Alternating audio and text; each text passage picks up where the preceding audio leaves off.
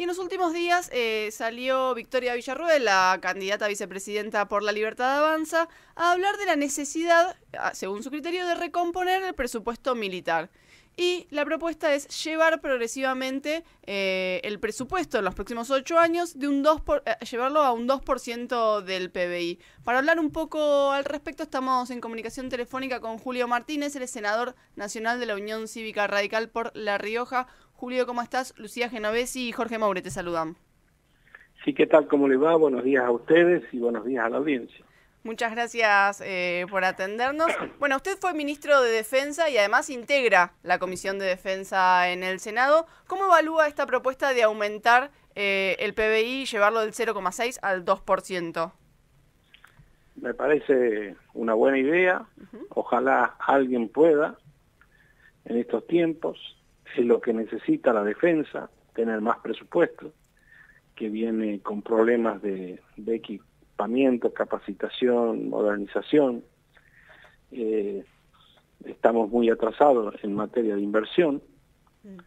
Pero bueno, creo que, que hay dos o tres incongruencias en, la propuesta que, hace Villarreal, ¿no? ¿Cuáles son? Una, eh, llevar el, el 2% en ocho años es lo mismo que nada, es más de lo mismo.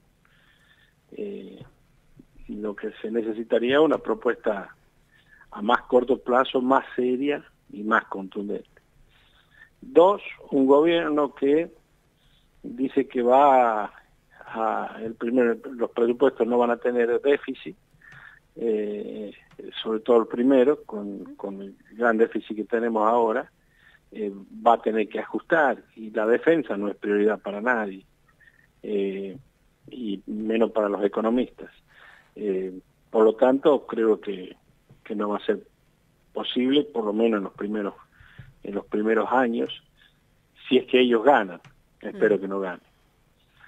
La tercera incongruencia que tienen es que dice que esto sería a ocho años, pero mi ley dijo que él va a estar cuatro años y se va a su casa.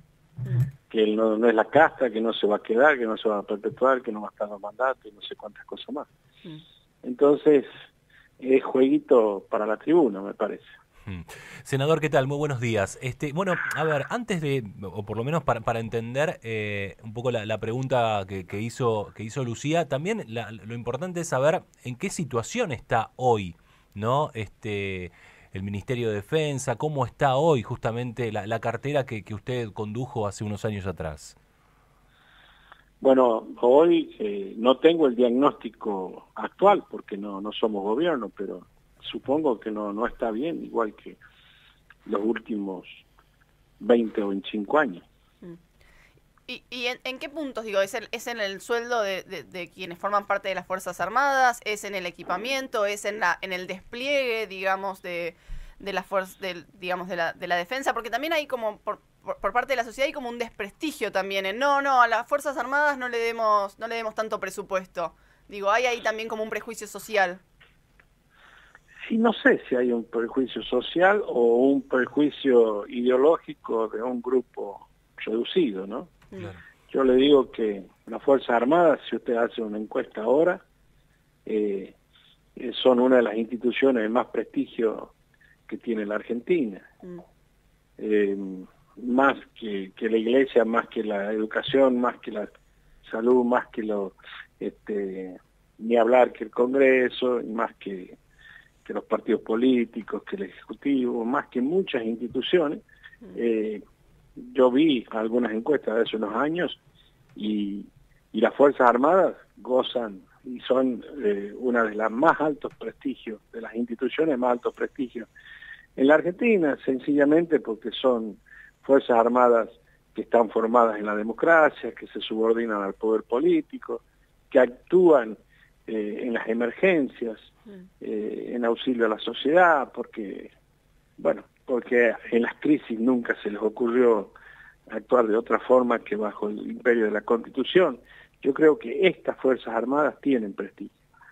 Eh, lo vimos, mire, yo cuando fui ministro de Defensa hice dos desfiles, este, el primer desfile fue un millón de personas casi en forma presencial y reventó todos los ratings este, de los programas. Eh, los, programas de, cable normalmente tienen un rating de 1, 2%, sí. o, o, 3 cuando mucho. Cuando transmitieron el desfile en directo llegaron a, puntos, a 9 puntos de rating.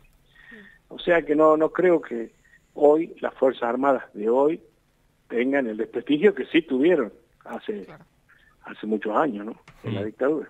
Pero digo, si uno se, si lo compara con, con Fuerzas Armadas de, de, Brasil o de Perú o de Chile, hay, ¿no? Como una cierta este, diferencia. No lo sé.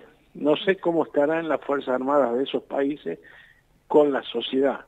Digo, porque se, se, eh, habla mucho, senador, en el tema de equipamiento, ¿no? Equipamiento de aviones. No, no, bueno, el equipamiento, que tienen este, esos países es muy superior al Bueno, a, eso, a eso me refería, Y eso tiene que ver con prioridades del gobierno. Y eso tiene que ver también con, con los países. Mm. Nosotros tenemos una lógica populista que nos lleva a gastar más de lo que tenemos y por lo tanto siempre estamos en déficit, siempre estamos emitiendo, siempre estamos endeudándonos, siempre estamos creando más pobres eh, es una ley lógica que nos lleva de hace 70 años, más de 70 años, que nos gobierna la lógica del populismo. Entonces, los países no los gobiernos no populistas que quieren salirse de esa lógica no les va bien, o no terminan los mandatos, o no ganan las elecciones. Entonces estamos en un círculo vicioso descendente que nos lleva a que nunca siempre tengamos más, cada vez más pobres y más necesidades sociales y que obviamente en ese marco la defensa no va a ser prioridad, como sí lo es en otros países estables como, como Chile, Brasil o cualquier otro país que no tienen estas inflaciones, estas emisiones, esta pobreza, eh, tienen situaciones más estables que les permiten invertir en corto, mediano y largo plazo en la defensa. Estamos en comunicación telefónica con Julio Martínez, senador nacional por la Unión Cívica Radical y él fue ministro de Defensa eh, hace unos años. Senador, eh, en esto de, digamos, de la necesidad de aumentar el presupuesto y, el tema del déficit, ¿usted cómo, cómo cree que se podría reacomodar, digamos, si alguna vez lo evaluó, sobre todo cuando era ministro, para aumentar lo que sería defensa? ¿De dónde se podría redistribuir, digamos?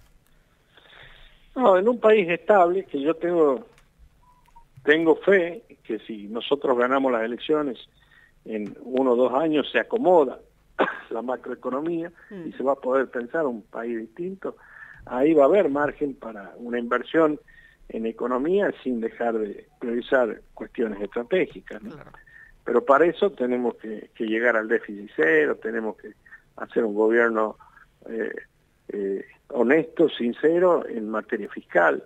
Eh, y tenemos que sincerar la economía. ¿no? Hmm. Este senador, eh, en, esta semana, por lo menos una, un comunicado que sacó el interbloque de Juntos por el Cambio, este, que le exigió al oficialismo, ¿no? Al frente de todos que archive el pliego de la jueza eh, Figueroa mm, para que siga ejerciendo como, como magistrada. Estamos hablando de las causas que lleva adelante de Otesur y los sauces. Me gustaría ampliar un poquito más sobre, sobre este concepto y la posición al respecto. Bueno, a mí me parece fundamental que el kirchnerismo, sobre todo Cristina Fernández Kirchner, deje de presionar con los pliegos de la jueza Figueroa. Mm. Es lamentable que un país que está en llamas, con saqueo, con en la puerta de la hiperinflación, que está la gente llena de necesidades, con problemas de inseguridad y de inestabilidad política, económica, fiscal, que está sin dólares, que tiene que andar pasando la gorra por el mundo, la preocupación principal de Cristina y lo transforma en la principal preocupación de este gobierno sea prorrogar el mandato de la jueza Figueroa y eso ha llevado a paralizar el Senado. Necesitamos que el Senado funcione para que apruebe este, el tema de los créditos UVA, del, el tema de la ley de alquileres y tantos otros temas, pero Cristina lo tiene parado y pisado, este, es como la dueña del fútbol que, que tiene que tener este, el, el, este, si no no me aprueban lo, de la jueza Figueroa, acá no sesiona, el Senado no existe, mm. eh, y es lamentable, ¿no? Ella perdió la mayoría eh, y, eso lo llevó, no está en su ADN dialogar, consensuar, ceder, conversar. Nosotros gobernamos cuatro años con minoría en ambas cámaras y sesionamos y pudimos sacar muchas leyes, pero ella no está en su ADN conversar, consensuar, eh, disentir, ceder, y por eso eh, opta por cerrar el, Senado. Eh, y bueno, lo, cual es lamentable, ¿no? En esto de cerrar el Senado que, usted venía diciendo, ayer se aprobó, hubo media sanción en la ley de alquileres y ahora tiene que ir al Senado. Y el Frente de Todos no está de acuerdo con estas modificaciones. ¿Usted cree que se va a poder tratar esto en el Senado o que tampoco? Bueno, lo veo con dificultad, sobre todo porque ellos manejan las comisiones. Este, podemos hacer mayoría en, el recinto, pero en las comisiones este, es, complicado, manejan las presidencias de las comisiones donde tendrían que pasar, mm. y eso complica la situación porque este, si no lo llegas a la sesión con despacho de comisión, necesitas los dos tercios, que sí o sí no los tenemos. Entonces, es lamentable que los temas que le importan a la gente, hoy este, alquilar es un caos, o sea, la gente lo hace al margen de los contratos, eh, lo hace por tres meses que actualizan, nadie quiere hacer a tres años, o sea, eh, metieron el, Estado donde no tenía que estar y complicaron la situación de los inquilinos y de los propietarios, y eso hay que solucionarlo, y eso hay que hacerlo sin ideología. Pero bueno, lamentamos que este gobierno se pare en, la ideología y le complique la, la, vida a la gente. Senador Martínez, le agradecemos un montón este rato con nosotros. Muchísimas gracias. Hasta luego. Pasaba Julio Martínez, senador nacional por la Unión Cívica Radical por La Rioja. Fue ministro de Defensa, hablamos sobre la defensa, hablamos sobre el Senado.